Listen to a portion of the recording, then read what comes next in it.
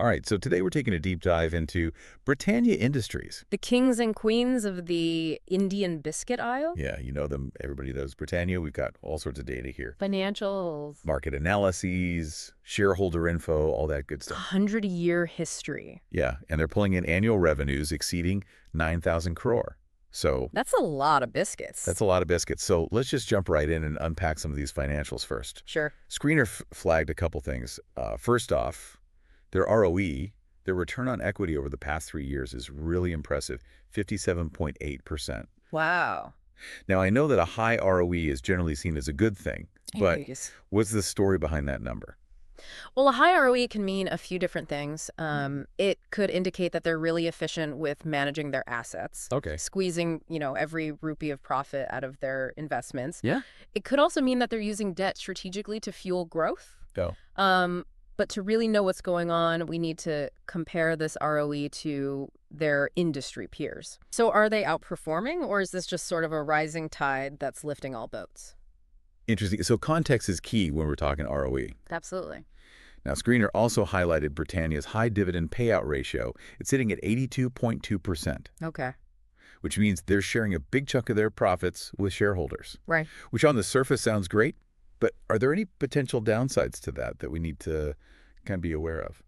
Yeah, a high payout ratio can be a double-edged sword. Mhm. Um, while it might attract investors who are looking for income, Right. it also raises questions about their reinvestment strategy.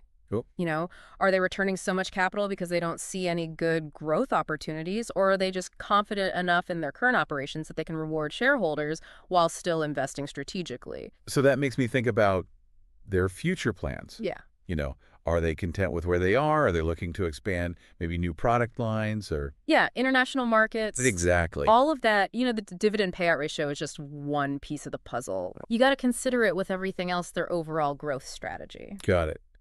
Now, another interesting piece of the Britannia story is that they are part of the Wadia Group. Right. It's not just some standalone company. It's part of this huge conglomerate with, uh, you know, Fingers in a lot of pies. yeah, fingers in a lot of pies. Yeah. Airlines, textiles, Yeah. real estate, you name it. Yeah. So what does that connection mean for Britannia? Is it a good thing? Is it a bad thing? Is it both? Well, being part of the Wadia group definitely has some advantages. Okay. Like access to resources, Sure. you know, financial backing, established networks. Mm-hmm. It's like having a really powerful family behind you. Right. But it does add some complexity. Okay. The group's overall performance and the strategic decisions they make can trickle down to Britannia, and investors are always going to be watching those related party transactions. Yeah. Make sure there are no conflicts of interest. That's a really good point. So it's not like a clear yes or no. It's this kind of web that we have to untangle. Yeah. Okay, so we've got this high-performing company, a big dividend payout, this tie to the Wadia Group. Right. But no company's perfect screener flagged a couple of potential cons that we should probably talk about. Sure. The first one, the stock is trading at a pretty high price relative to its book value. Okay. Can you maybe break that down for somebody who isn't fluent in finance? Sure. So think of book value, like the company's net worth. What would be left over if they sold all their assets and paid off all their debts? Got it. So if the stock price is way higher than that book value, it could signal a few things. Okay. Maybe the market is really optimistic about their future earnings, Okay. or it could suggest that the stock is overvalued. Right. And investors are maybe getting a little caught up in the hype. So how do we tell the difference between, you know, real optimism and Irrational exuberance. Yeah. That's where we got to look a little deeper, look at their growth prospects, okay, their competitive positioning. right? Do their future earnings justify that premium price? So it's about understanding the why behind the numbers. Exactly. Okay. The second concern that Screener flagged was Britannia's sales growth. It's been relatively low over the past five years. Right.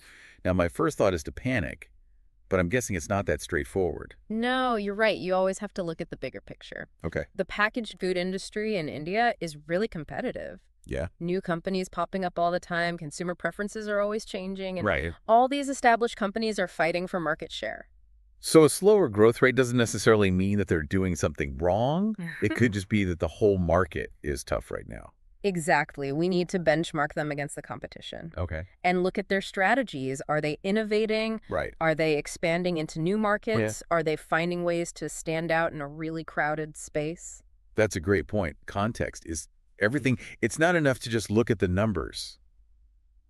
You got to understand, The bigger picture. yeah, the forces at play, all of that. The dynamic. Now, I think there's one more piece of the puzzle that we should look at before we wrap up this part of the deep dive, Okay. and that's the ownership, you know, who owns a slice of this biscuit empire. The shareholding pattern. Yeah, Yeah, it can tell you a lot about the power dynamics within a company. exactly.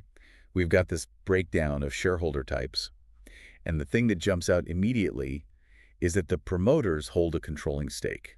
More than 50%? Yeah, over 50%. Now, Yeah. for those who aren't familiar with that term, who are the promoters and what does their ownership mean for the company? Sure. So the promoters are usually the founders Okay. or early investors, the people who have a lot of influence over the company's direction. Okay. In Britannia's case, that strong promoter holding often translates to stability Okay. and a long-term vision. Yeah. They're not just in it for the quick buck. Right. They're in fact. They want the company to succeed for the long haul. That makes sense. Yeah. But then we've got these other categories of shareholders, you know, the foreign portfolio investors, the domestic institutional investors, hmm the public, it's a whole ecosystem. Yeah. And I noticed that the percentage held by foreign portfolio investors has been going up and down, fluctuating. Yeah, it fluctuates. Why would that be? Well, those fluctuations can be driven by all sorts of things. Yeah. Changes in global investment trends, perceptions of the Indian economy, geopolitical events. You know, Wow. it's a barometer of global sentiment. So it's not necessarily a reflection of anything Britannia is doing. It could just be. Reaction to the global market, absolutely. So it's something to keep an eye on. It is. All right, let's take a breather and recap what we've learned so far. Okay. We've got Britannia, a legacy brand with a strong financial track record, a really nice dividend payout, a connection to the powerful Wadia Group, and a couple potential areas of concern. That we're going to dig into. Yeah, it's a fascinating mix of positives and negatives that we need to kind of weigh carefully. Exactly. And it's important to remember we're just scratching the surface here. There's so much more to explore, especially when it comes to understanding their strategies for the future of the Indian food industry. I can't wait to dive deeper. We'll be back in just a moment to continue our deep dive into the world of Britannia Industries. Stay tuned. Welcome back. You know, before we get too far into Britannia's future, Yeah. I think it's worth circling back to those foreign portfolio investor fluctuations we were talking about. Right. It's easy to see those numbers going up and down and think, oh, is something wrong? Yeah, it definitely makes you wonder, you know, what kind of broader trends might explain those shifts. Well, global investors are always, you know, reassessing their portfolios. Right. Interest rates in one country can impact decisions all over the world. Okay. Currency fluctuations, political events, it's all connected. So those FPI shifts might not even be about Britannia specifically, just a reaction to... The global investment climate, yeah. Okay, that makes sense. It's like trying to read the tides. Yeah. You have to understand the currents and the wind Right, right. to see which way things are going. Now, I want to go back to those potential cons we were talking about. Yeah. The high price-to-book ratio and the slower sales growth. Okay. We talk about how book value is basically a company's net worth on paper. Right. But what does that really tell us about their future potential? Well, Could a high price-to-book ratio actually be a good sign? you're thinking like an investor now. Okay. Remember, book value is based on historical data. Right. It's the past, not the future. Mm-hmm. It doesn't take into account a company's intangible assets, things like brand recognition, Okay. customer loyalty, a strong management team. Right. Those don't show up on a balance sheet, but they can be super valuable. So in Britannia's case, those iconic brands and their market position, that could explain the high price-to-book ratio. Absolutely. Investors are willing to pay a premium because they see potential beyond just the numbers. Right. A high price to book ratio means that the market believes the company is worth more than what their accounting value is. Oh, yeah. They're betting on future earnings. That makes sense. Now, let's talk about the slower sales growth. Okay. You mentioned how competitive the Indian packaged food industry is. Yeah, it's a crowded space. How can we tell if Britannia's performance is a sign that they're struggling or it's just a reflection of the overall industry? Well, we got to look at their performance compared to their competitors. Okay. Are they losing market share or are they still growing just at a slower pace than the rest of the market? So again, it's not about looking at the numbers in a vacuum. It's about, The whole picture. yeah, understanding where they fit in. And we need to analyze their strategy, you know? Right. Are they innovating? Are they coming out with new products? To keep up with. Consumer preferences. Yeah, exactly. Are they finding new markets to expand into? It's about staying ahead of the curve. Okay, now, earlier we touched on Britannia being part of the Wadia group. Right. this big conglomerate with interests in all sorts of sectors. Yeah. Let's dig into that a little more.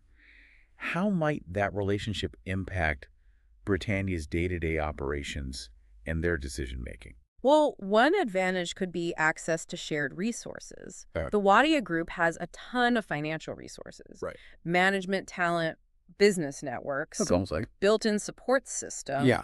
That can give Britannia a real leg up, especially when it comes to things like expanding, attracting top talent, navigating regulations. It's like having a powerful ally in your corner. exactly. But I'm sure there could be some downsides too, right? well, there's always the risk of conflicts of interest. Okay. Investors might worry about related party transactions. Okay. Where Britannia is pressured to do business with other Wadia Group companies, Even if it's not the best. even if it doesn't make sense for them. Right. So transparency is important. Absolutely. Transparency and good corporate governance are crucial. And there's also the risk that the group as a whole, Could underperform, yeah, which could drag down Britannia's stock even if their business is doing well. it's guilt by association. Kind of, yeah. So it's a mixed bag. The Wadia Group connection brings both opportunities and challenges. It does it definitely adds another layer of complexity. Every piece of information we uncover just adds another wrinkle to this whole thing. It does. We've got strong financials, but some potential red flags. Yeah.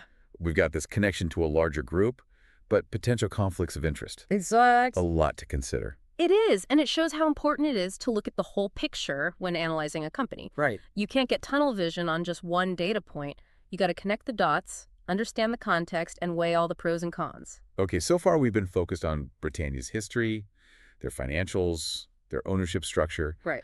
But to really understand where this company is going, we need to look beyond the present. The future. What are the big trends shaping the future of the Indian food industry? Now, that's the million rupee question. Uh, And it's one that Britannia needs to get right if they want to stay on top. right, We're seeing major shifts in consumer behavior, right. and companies that can't keep up are going to get left behind. I'm all ears.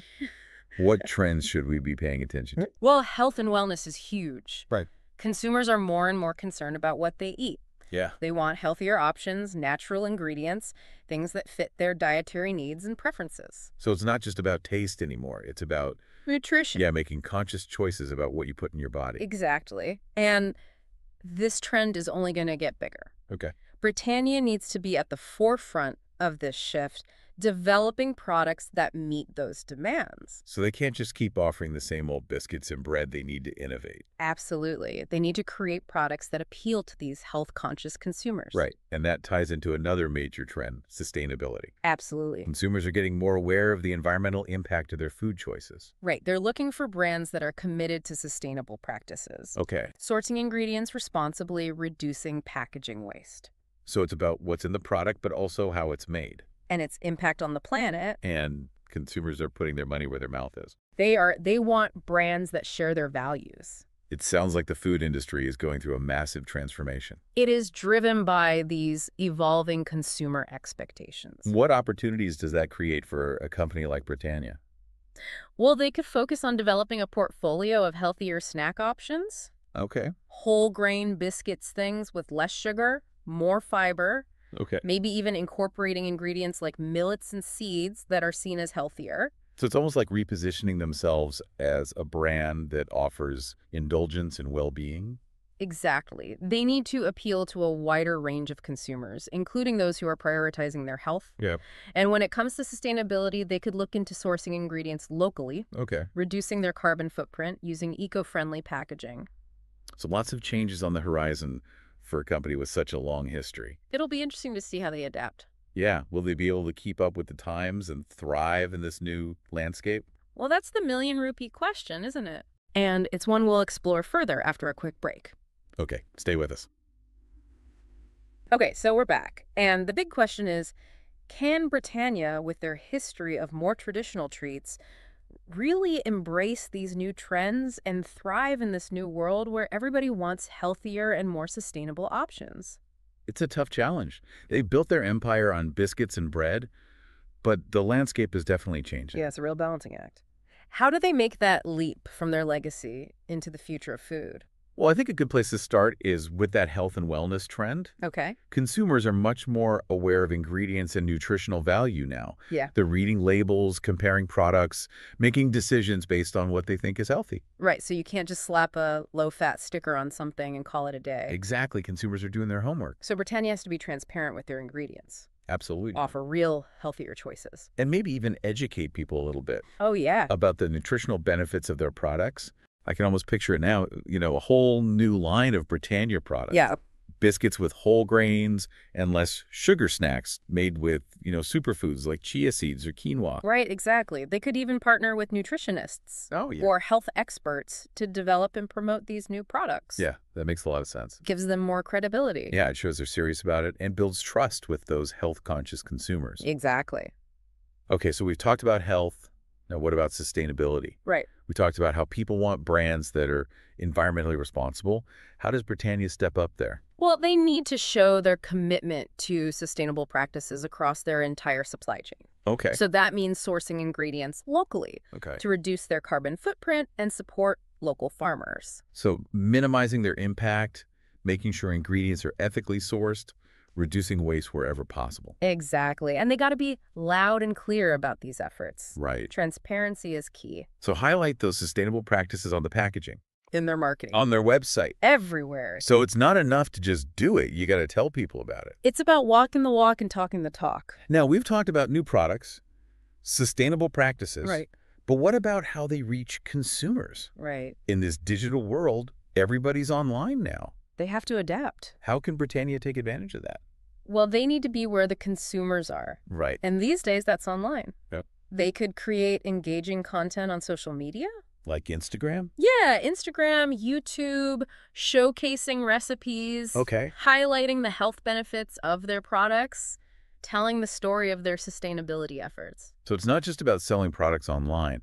It's about building a community, Exactly. connecting with people. And becoming a trusted source of information and inspiration. yeah, and then they can leverage e-commerce Absolute. to make sure their products are easily accessible. Make it convenient. Yeah, order your favorite Britannia biscuits online, and boom, they show up at your door. Now, we've covered a lot of ground today. Mhm. We've looked at their financials, Mm. their ownership, all the strengths and weaknesses. The trends shaping the industry. Yeah. So what's the big takeaway here? What should our listeners be thinking about when they think about Britannia and the future? I think the main takeaway is that even a company with a long history like Britannia Yeah. needs to be able to adapt and change with the times. Right? The world is changing. Consumer expectations are evolving. They have to evolve too. So it's not enough to just rely on what worked in the past. No, You got to be proactive, innovate. tap into new ideas. yeah, exactly. And now they have a lot going for them, you know? Right. A strong brand, a wide distribution network. They understand the Indian consumer, Mm-hmm. but they need to leverage those strengths to overcome the challenges and take advantage of the opportunities that are out there. This has been a really fascinating look at Britannia. We've uncovered a ton of information. We have. But I think the most important thing is to stay curious. Keep asking questions and be open to new perspectives. That's what it's all about. Yeah, that's what makes these deep dives so interesting. It is. And for our listeners, as you see Britannia evolve, Yeah. keep this conversation in mind. You know, think about how their choices reflect these bigger trends we've talked about. It's a story that's still being written. Yeah, definitely a company to keep your eye on. Absolutely. Well, until next time, happy deep diving.